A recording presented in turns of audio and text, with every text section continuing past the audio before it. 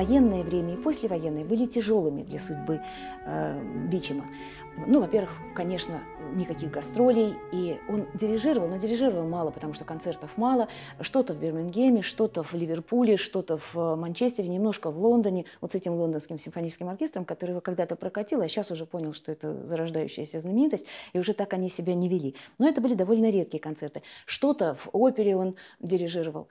А, я уже сказала о том, что начались сложные времена для многих оркестров, и он э, очень щедрые суммы давал оркестрантам. Причем иногда он давал просто в карман, и очень тихо, и никто не знал. Вот он так дружил со своими музыкантами разных призывов, что знал э, ситуацию в их семьях. Когда он понимал, что у кого-то ситуация трудная, это подлинная благотворительность, когда ты не вешаешь это на большой колокол, и он это очень часто делал. Но были случаи, когда он и оркестром просто на существование тоже давал деньги, и вот это был первый случай, когда он нескольким оркестрам, с которыми он начинал, помог в эти тяжелые годы Первой мировой войны. А в в... во время э, войны в 16 году умирает его отец. И при том, что они помирились, тут возникла такая сложность, которая вывела его из музыкального процесса буквально, на, наверное, лет на шесть. Дело в том, что э, отец, будучи очень богатым человеком, перед войной, который никто не ожидал, как известно, он приобрел очень дорогие и очень престижные э, земли в районе Ковенгардена, но не театра, а вот театр тоже стоял на этих землях, это рынок был. Вот это была большая рыночная площадь, это центр Лондона, очень дорогая земля. Он решился на это, он думал там долго, а потом решился вложить свои деньги в эту землю. И по э, условиям договора он должен был в течение нескольких лет очень крупные суммы вкладывать. Он успел вложить первый транш, вот эту вот первую сумму. Разразилась Первая мировая война, и в Англии был закон, согласно которому крупные суммы денег на бытовые нужды нельзя было тратить, потому что они предназначались гипотетически на нужды э, войны. Он не смог оплатить эту вторую, э, ну вот второй год этой оплаты. А в следующем году, в 16 году, он просто умер. И детям его досталась незаконченная сделка, безумно дорогая, Конечно, еще была инфляция, и деньги обесценивались. И, в общем-то, у них таких денег, чтобы закончить эту сделку, не было. И они думали, что им делать. И, в общем, они решили для себя, что они сохранят фабрику и сохранят вот эти земли вокруг Ковенгардена, а все остальное имущество отца они начали распродавать. Это же надо было уметь, и это надо было с юристами. И это заняло у него очень много времени и очень сильно отвлекло его. Он фактически не выступал в это время до э, района там, 23 -го года. Действительно, это очень долго было. Но все-таки они сумели это урегулировать. А, два брата стали наследниками, получили э, совершенно по согласию большую часть получил э, Бичем и меньшую часть получил его брат. И дальше он снова а, а вот что снова? Он приходит и понимает, что в его собственности оркестра нет. Он то там, то здесь понимает, что ему надо создать оркестр. И так в 1932 году новый фейерверк, его, правда, так не называли, но возникает оркестр, у которого прекрасная репутация, прекрасная слава, и он сегодня один из лучших оркестров мира. Это, называет он его, Лондонский филармонический оркестр. Вообще, э, людям, которые занимаются оркестрами, всегда надо иметь в виду, что в Лондоне настолько много престижных и исторически идущих из истории оркестров, надо всегда знать, как они называются. Лондонский симфонический, лондонский филармонический, и дальше будет королевский филармонический. Их нельзя путать, они абсолютно разные оркестры. Он создает этот оркестр. Опять же, он уже, конечно, стал настоящим дирижером. Как дирижер он создал себя сам. Свои лучшие качества дирижерские – это лидерство, Безусловно, это, но самое все-таки главное, вот когда мы сегодня слушаем, конечно, записи не передают, мы уже поняли, что они не передают, и вообще они несколько плоскостные, хотя начинал он при очень скудной технике. Такой я когда-то читал не в связи с ним, но э, вот эта вот первая техника писали по несколько минут, Потом это все склеивалось и писали, э, как я помню, какую-то тембровую часть, вот там, где стояла аппаратура. Вообще э, найти такую точку, с которой был бы слышен объемом весь оркестр, не представлялось возможным, поэтому монтировали не только как бы вдоль, но и поперек. Конечно, это очень большие потери в этом были. А дожил он до стереоскопической записи, до стереозаписи э, 60-х годов. Я не сказала, но он умер в 1961 году, так что он прожил огромную жизнь.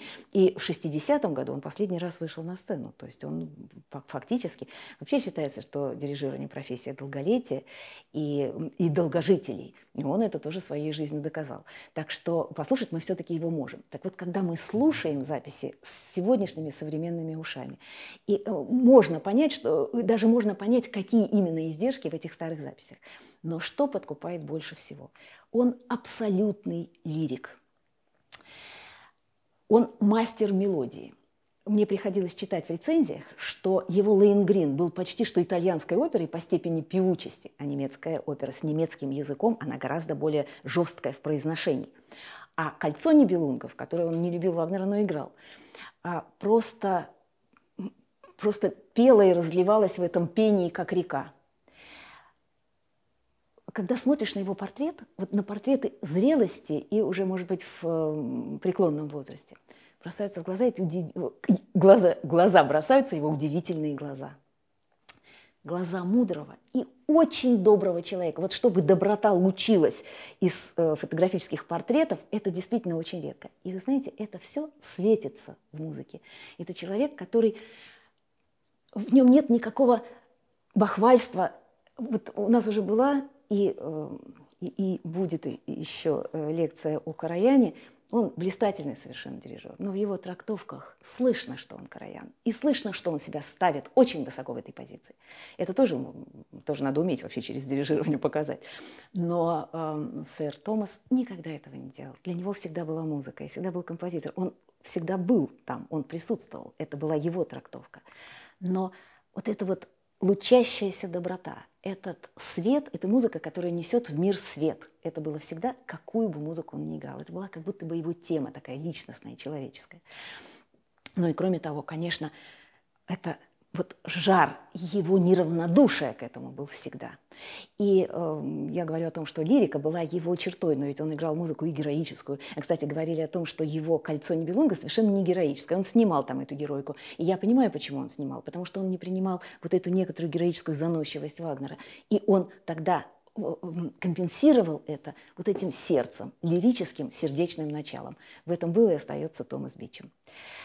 А, с этим оркестром он гастролировал и попал в конфузную ситуацию. Я имею в виду уже вот новый, созданный в 1932 году, Лондонский филармонический оркестр.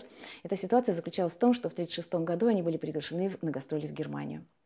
Как мы знаем, в 1933 году, в 1932 после выборов, да, в 1933 реально уже нацистское правительство пришло к власти, и в марте 1933 уже прозвучал этот такой не, непонятный для нельзя было понять, что за ним стоит, э, закон о государственной службе.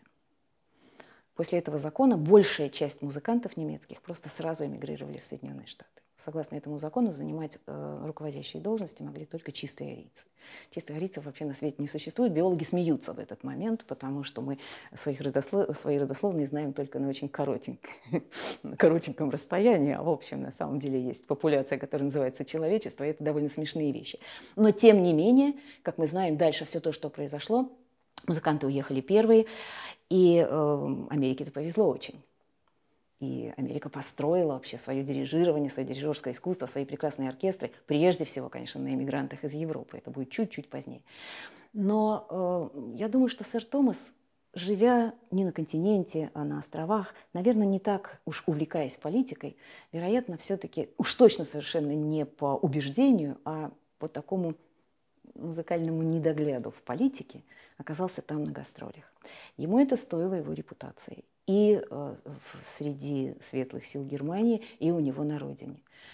Ну вот так произошло. Но будучи порядочным человеком, он, тем не менее, еще два года подряд, в 1937 и 1938, в Германию приезжал. Почему? Потому что у него были контракты с Deutsches Oper, и он эти контракты должен был выполнить. Но оркестр он уже не вез. И такой политической как бы акции не было. Но что интересно, что это было действительно его вот эти гастроли с его оркестром были обставлены как политическое акт политического приятия нацист, нацистской Германии и Гитлера в частности. Гитлер должен был приехать на этот концерт. Но Томас э, Бичем остался с самим собой. Гитлер обозначал свое величие тем, что он опаздывал на концерты. И вот Томас уже стоит э, за пультом, оркестр уже сидит, он, значит, так нервно побивает палочкой, но отмашку начать концерт им не дают, потому что Гитлер еще не пришел. И тогда сэр Томас довольно громко, так что слышали первые ряды, точно совершенно слышали оркестранты, вот так вот бия палочкой сказал, этот старый хрыч опаздывает. В общем, это был такой поступок. Он мог себе, вот он позволял, он мог себе это позволить. И с этим оркестром вроде бы все было хорошо, но вдруг происходит невероятная вещь. Начинается Первая мировая война, и сэр Томас покидает этот оркестр и уезжает в Америку.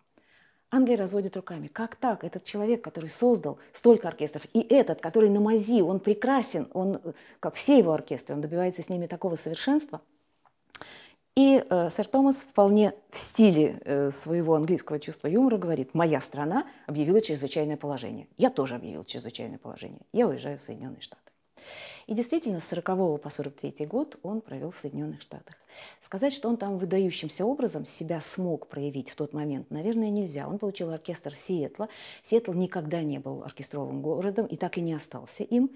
Но при этом у него были ангажементы в Метрополитен-опере, где он э, дирижировал французскими операми. И что интересно, что руководил в этот момент Метрополитен-оперой тоже человек, который в 1933 году сразу после этого э, приказа и после этого закона эмигрировал, Бруно Вальтер. Прекрасный немецкий дирижер, единственный ученик э, Густава Малера. Но интересно то, что в первые оперные сезоны э, Бичема он приглашал, и получалось, что он приглашал Бруно Вальтера, получалось, что Бруно Вальтер был его заместителем, а здесь он оказался под э, руководством э, Бруно Вальтера. Ну вот он играл там французские оперы. Их, кстати, было очень немало. Это Самсон и Далила, это э, сказки Гофмана, Фенбаха, это, конечно же, Кармен, это Фауст. У него был такой мощный репертуар, но вот он как мастер французской музыки, и действительно он очень тонко французская музыка, она особенная. Каждая, э, каждая музыкальная стилистика имеет свое своеобразие. Но французская музыка, она такая ювелирная, в ней вся красота, она не в размахе и в роскошести, как, скажем, там, у Бетховена или у Вагнера, а она в таких тонких э, ювелирных штрихах, в цветовых и световых, на самом деле звуковых, конечно, переливах. И вот он э, владел этим просто аристократически прекрасно. В нем была вот эта вот простота аристократическая. Он снижал пафос немецкой музыки, потому что, конечно, для человека, который мыслит вот этой аристократической простотой, пафос довольно пошлое явление. А с другой стороны, он вот эту прихотливость подавал так, как будто она абсолютно естественна. И это, конечно, производит очень большое впечатление. Послушать его интерпретации французских композиторов, а это я оперных перечислила, а ведь он много симфонической музыки играл. И фактически от люли, то есть от 17 века, и до современных ему английских, э, французских композиторов он играл всех. Очень действительно любил французскую музыку. И так ведь вот удивительно, так и остался как мастер французской музыки.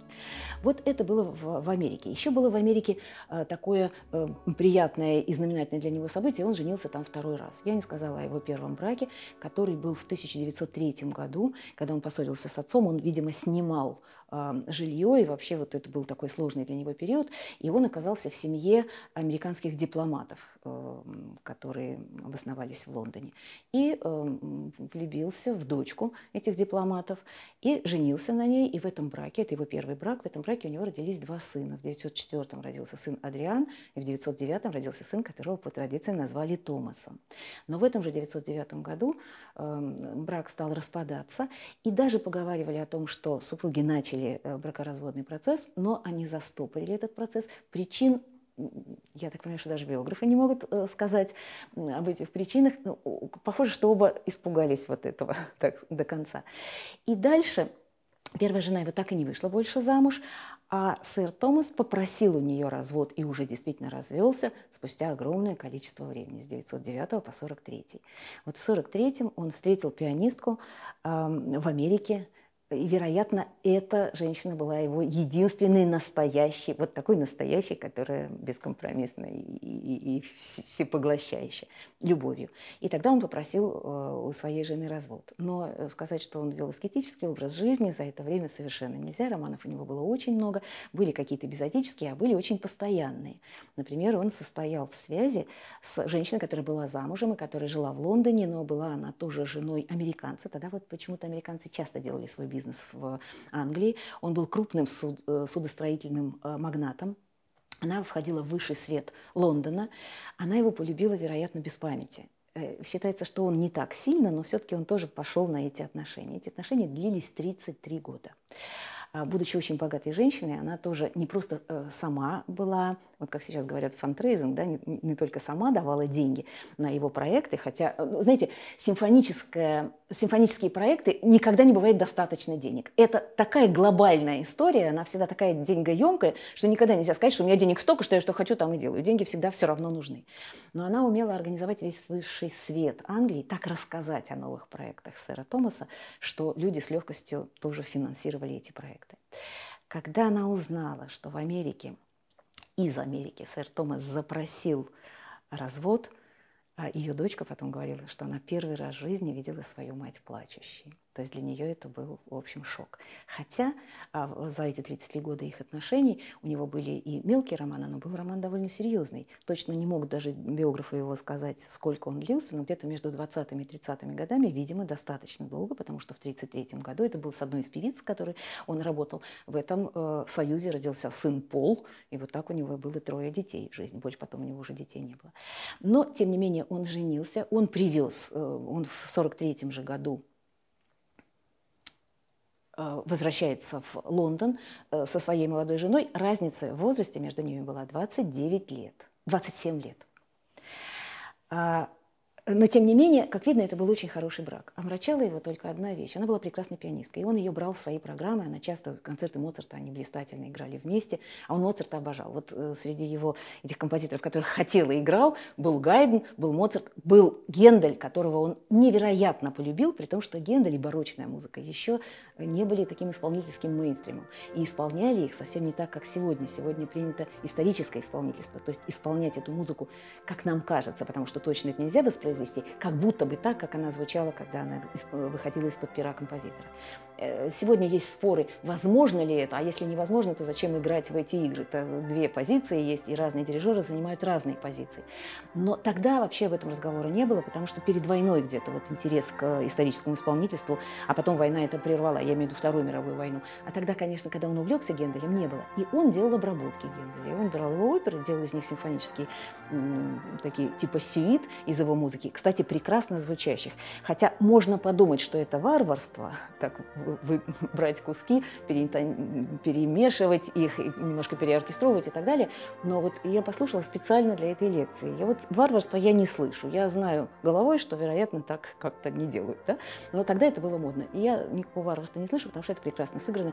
И, конечно, он понял величие Генделя. И по поводу Генделя ему принадлежат такие слова, что Гендель писал немецкую музыку лучше, чем все немцы, итальянскую музыку лучше, чем все итальянцы, французскую музыку лучше, чем любой француз, и э, английскую музыку лучше, чем любой англичанин.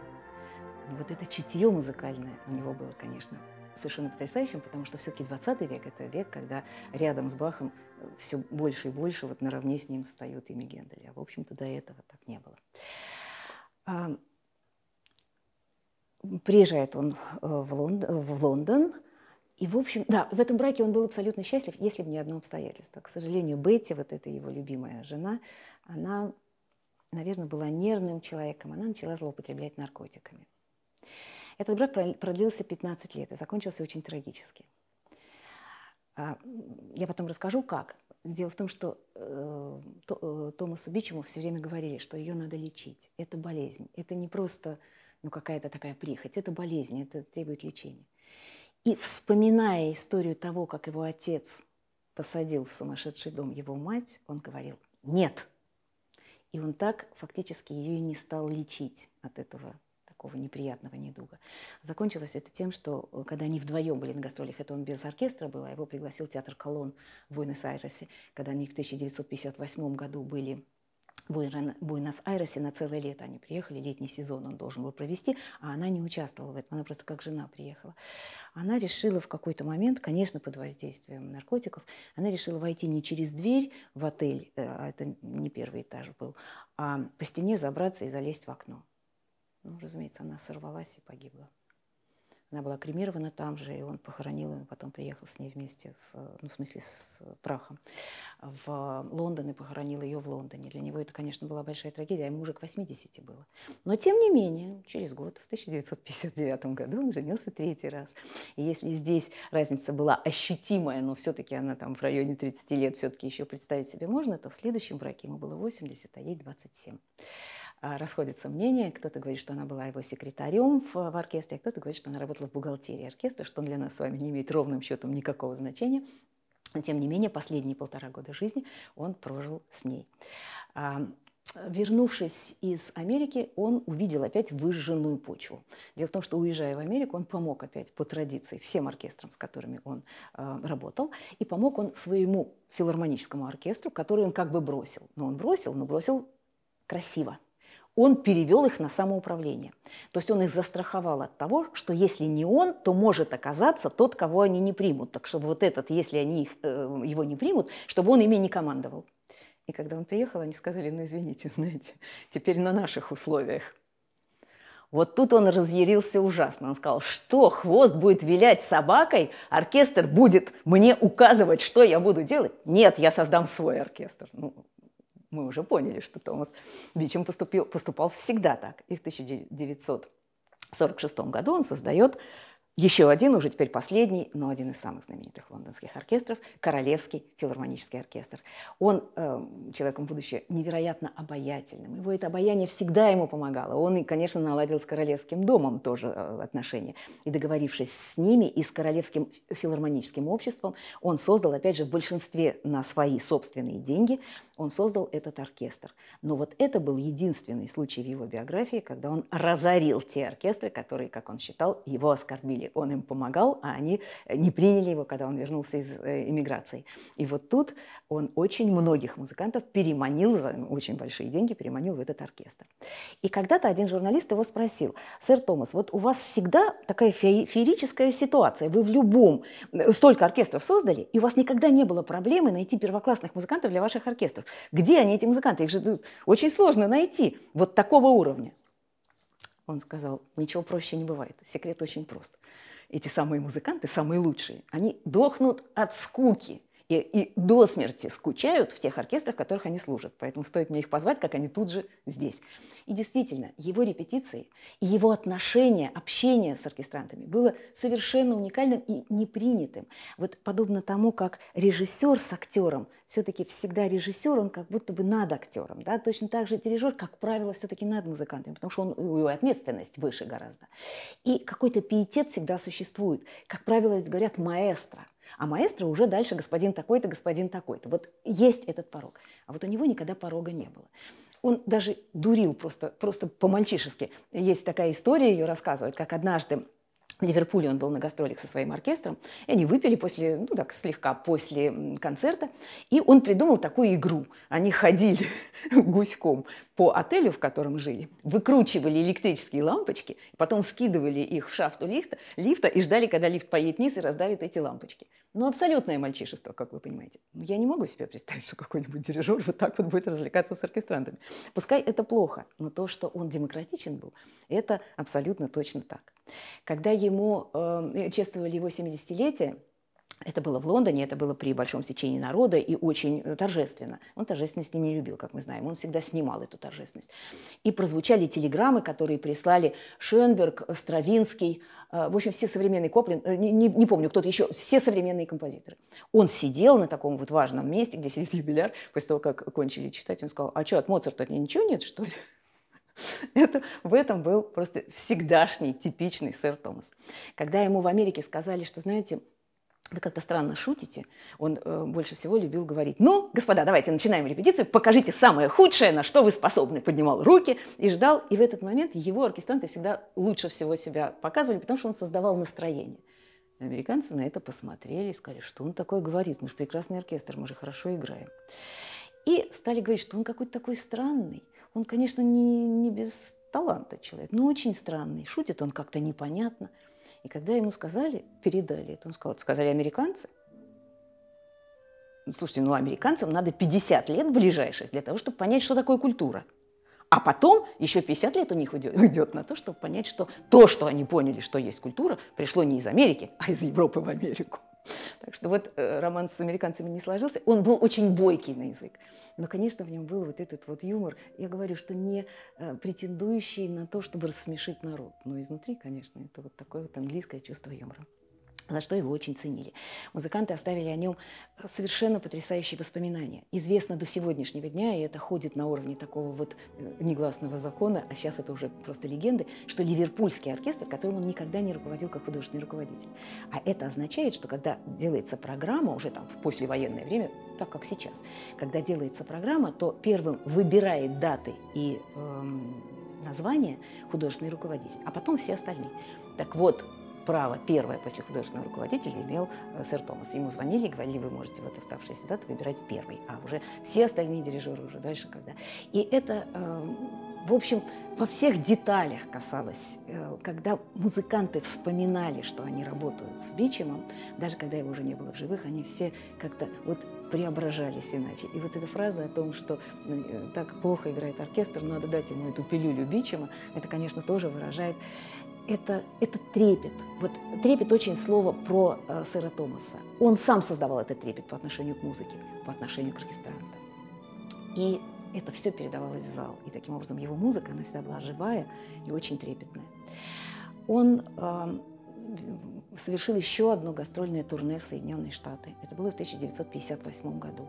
Несколько месяцев он по главным э, симфоническим городам, это и Сан-Франциско, и Чикаго, и Нью-Йорк, э, гастролировал, и Миннеаполис, по-моему, э, гастролировал со своим оркестром, это были триумфальные гастроли. Вернулся он, они довольно долгие были, он вернулся уже в 1959 году, в апреле, и в мае 1959 года он 59 или 60 60-го, я спутала. Он в 59-м уехал в Америку, да, в 60-м вернулся.